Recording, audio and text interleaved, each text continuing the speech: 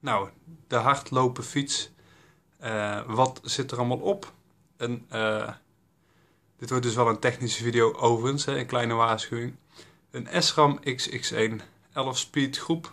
Uh, op dit moment de beste groep van SRAM.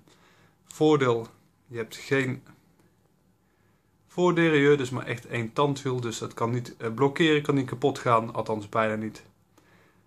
de ketting zal er niet heel nauwelijks nog überhaupt afgaan.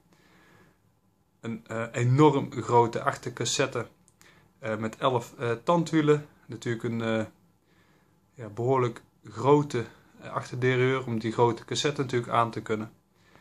Um, een trigger shifter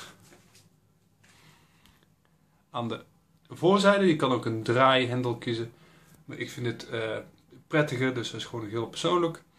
Um, vaste carbon voorvork, omdat het hier is gewoon voor in ons eigen land mee te fietsen. Dan is in mijn ogen een verende voorvork niet zo nodig. Nou, speciale tubeless wielen van ZTR, dus de Crest 29. Met naven van Hoop, dus in de Pro, uh, Pro naven van Hoop.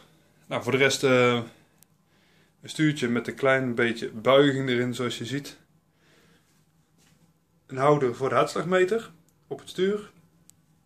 En voor de rest uh, gewoon. Uh, ja, meer is er eigenlijk niet echt. Anders dan natuurlijk dat ik er nu direct mee wil gaan fietsen. En ik wil even deze video maken voordat hij dadelijk helemaal smerig is. Want we gaan er nu mee de bos in. Oké, hoi hoi.